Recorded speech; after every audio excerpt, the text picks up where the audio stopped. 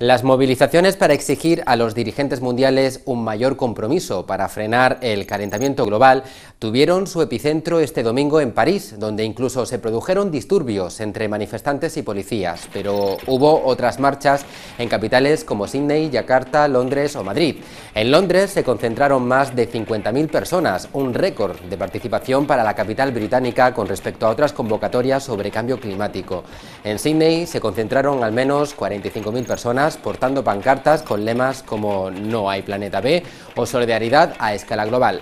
En Madrid, 20.000 personas, según la organización, salieron este domingo a las calles de la capital, entre Cibeles y Sol.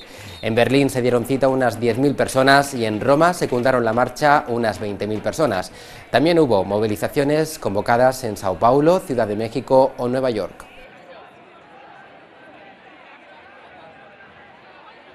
Exigimos a los gobiernos que en la próxima cumbre del clima en París se pongan de acuerdo para defender los intereses de la población, facilitando el cambio de modelo, comprometiendo medidas de transición justa que aseguren empleo de calidad, asegurando la protección de los países y personas más vulnerables y librándonos así de las peores consecuencias del cambio climático.